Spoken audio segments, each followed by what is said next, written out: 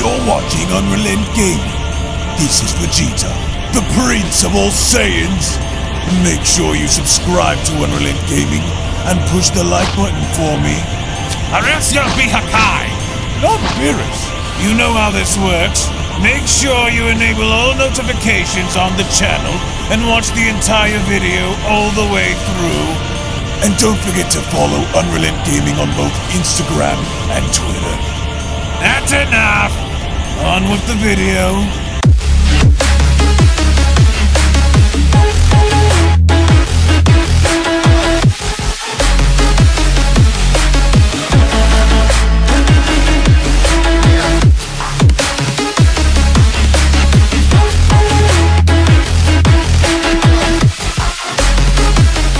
So with Dragon Ball Super manga chapter number 82 looming over the horizon, scheduled to be released in just about two days, we have now learned about the shocking revelation that to some extent Goku does have some kind of recollection of both Gine and Bardock, as the battle itself continues to be waged involving both Goku and Gas, with everything now having to unfold and with Bardock also being shown having to battle Gas 40 years ago in this upcoming manga chapter, this now ultimately begs the question, are we now going to find the keys in possibly defeating gas with Goku now having to learn them, or is something else bound to happen as of course the story continues? As a quick little reminder before diving deeper into this video, if of course you guys just so happen to be new to the channel and want to be kept up to date with everything in regards to the Dragon Ball Super manga and the upcoming Dragon Ball Super superhero movie, then I do encourage you guys to go on over and smash that subscribe button and turn on all notifications by clicking on the bell icon to never miss a single video posted on the channel, on top of giving this video a big fat thumbs up by slapping that like button down below if you guys are simply excited to see where the narrative is going to take us moving forward because, as courtesy of the official Dragon Ball News website and both Herms98 and DBS Hype over on Twitter, the following Dragon Ball Super manga chapter number 82 images, leaks, information, and spoilers goes as follows. Now, as of course you guys can see here on your screen, it would only now appear as though that at some point Goku will end up bringing gas within the Galactic Patrol prison to where if you guys pay close enough attention and take a very good look inside some of these cell blocks, you then slowly but surely begin to notice how a lot of these prisoners were in fact riding with Moro in the previous arc, and what's even more is that it appears as though they're slowly beginning to get under Gas's skin, because it's fairly evident that they're speaking to him, they want Gas to actually free them, but Gas doesn't look like he has any intention on freeing them, so instead, the prisoners end up taunting him, the prisoners try and get his attention, which is what I find more interesting than anything else, because as of course you guys can see here on your screen, at some given point, it looks as though they actually end up pissing Gas off well enough to where Gas ends up completely forgetting about Goku for a second, only to now take the time to yell at the prisoners around him, which is what I personally find more ironic than anything else because coincidentally enough, you have one villain right now from the current arc having to yell and scream at some of the same individuals that went as far as to invade Earth in the previous arc. So obviously this was done by design as Goku seems to be taking gas everywhere, but what's even more is as of course you guys can see here on your screen, there seems to come a point in time where gas ends up unleashing a gigantic energy blast down at Goku, and what Goku ends up trying to do is Goku ends up trying to do his best in holding the energy blast back, and Goku essentially tries to do his best in doing what he can to survive, but to Gas's credit, Gas actually proves to be too overwhelming for Goku, so what Goku ends up doing instead as a counter method is once again,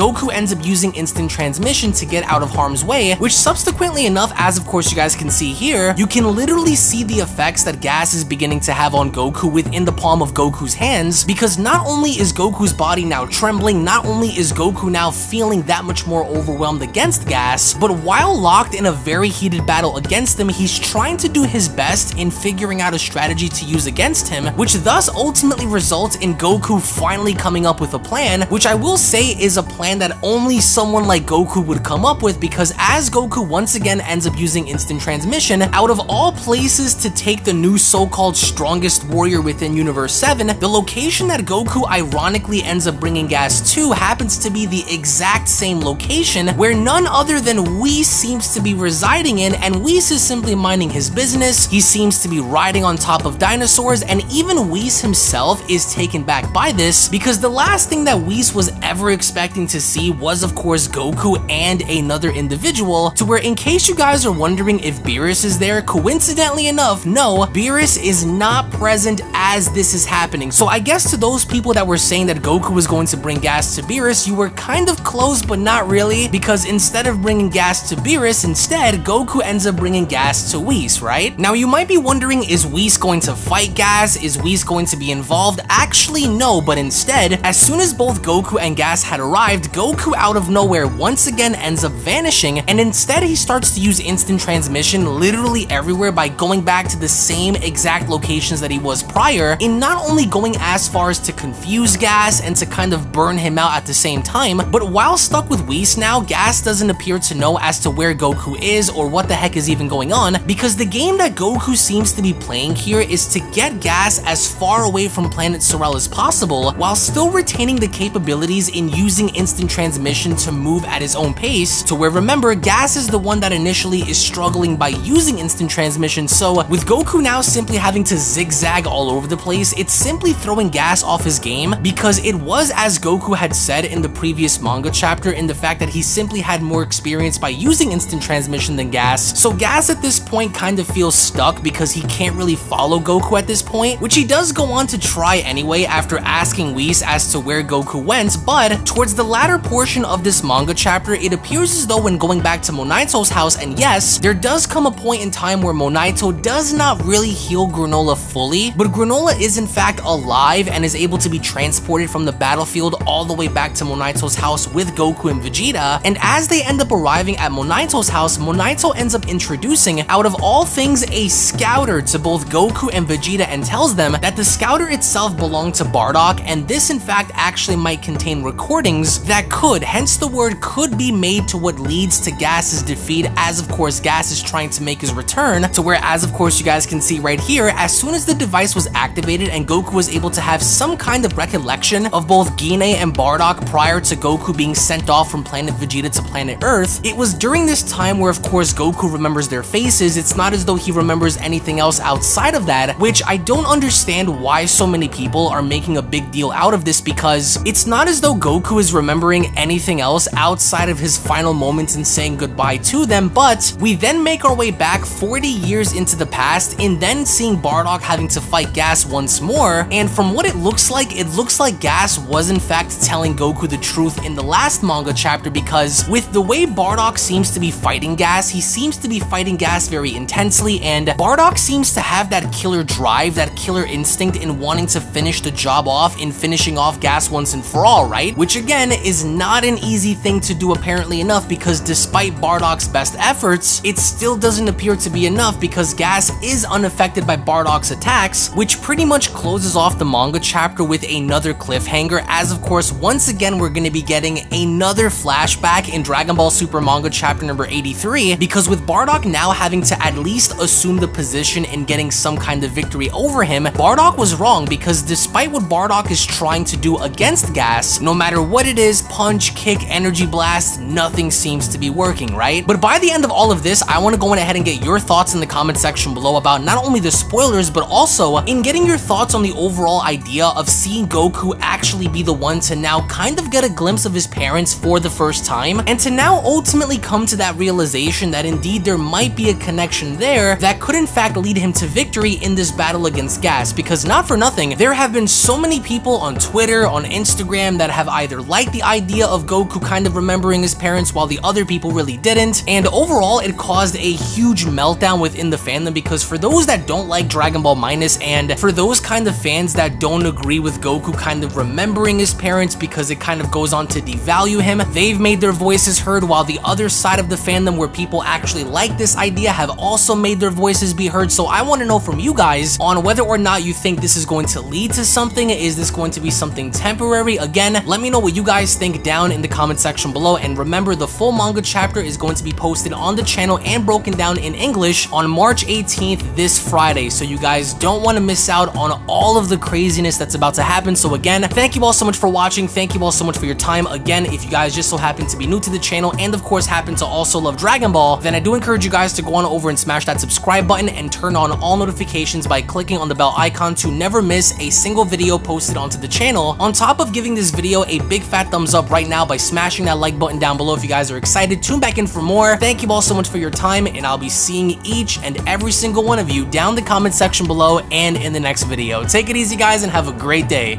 Peace. Hello. Did you know that you can stay up to date with the latest Dragon Ball content by simply subscribing to UnrealEnt Gaming? Also, don't forget to follow on these social media platforms, you sexy son of a bitch. Roshi. Silent Cell, me and the fans are having a moment. That's right. I know what you want. Extra long,